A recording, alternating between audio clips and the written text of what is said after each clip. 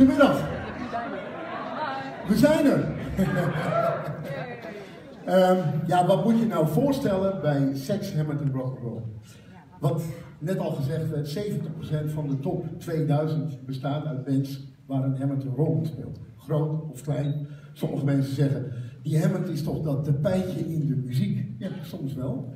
Maar als je teruggaat naar de jaren 60 en 70, bands als Deep Purple, Emerson Lake Palmer, Focus, uh, Procol Harum, Steve Winwood, Santana, Bob Marley, maar ook later Lenny Kravitz, John Mayer, noem maar op. Daar is de Hammond echt heel nadrukkelijk aanwezig. Wat hebben wij gedaan? We hebben een online platform gemaakt, hammondsessions.com. Mensen kunnen daarop kijken, mensen kunnen alle filmpjes bekijken van onder andere uh, de wereldhits van, van vroeger.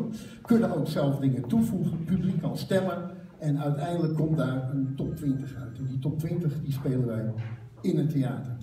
Um, nou ja, eigenlijk wat we net hebben gespeeld, dat zegt genoeg. Het volgende stuk dat wij gaan spelen is een uh, stuk, en dat is ook eigenlijk wel heel leuk, gebaseerd op R van Bach. Dus ook de klassieke muziek was in de jaren 70 en 60 heel erg aanwezig. Denk maar aan Emerson Lake Palmer die, en onze eigen Rick van der Linden van Exception, die dus de klassieke stukken verrokte. Um, wat wij ook doen, is dat we nu op dit moment ook bezig zijn met interviews. We hebben laatst Rod Argent geïnterviewd van de Zombies. De Zombies hebben gespeeld tot 69, hebben toen een heel mooi album gemaakt. En nu pas, ruim 50 jaar later, toeren ze ermee, omdat vlak voordat het album uitkwam, de band uit elkaar viel. Um, alle oude knorren zijn weer bij elkaar gebracht en daar toeren ze mee. Wat hebben wij gedaan? We hebben die Rod Argent opgezocht en we hebben daar een interview mee afgelegd. En onder andere het nummer She's Not wat later een wereldhit werd door Santana, is geschreven door die meneer Argent. 2 en 3 november hebben we Procol Harum in de studio. Daar gaan we spelen, jammen met de originele band. Daarvan gebruiken we ook weer materiaal. En al die kleine stukjes, die plakken we aan elkaar vast. En die komen straks ook in de theatershow achter de band uh, te zien. Dus, nou ja, dat is seks, hammer en rock'n'roll. Volgende nummer zult u vast herkennen. En zo niet, een klein tipje van de sluier, is van Procol Harum.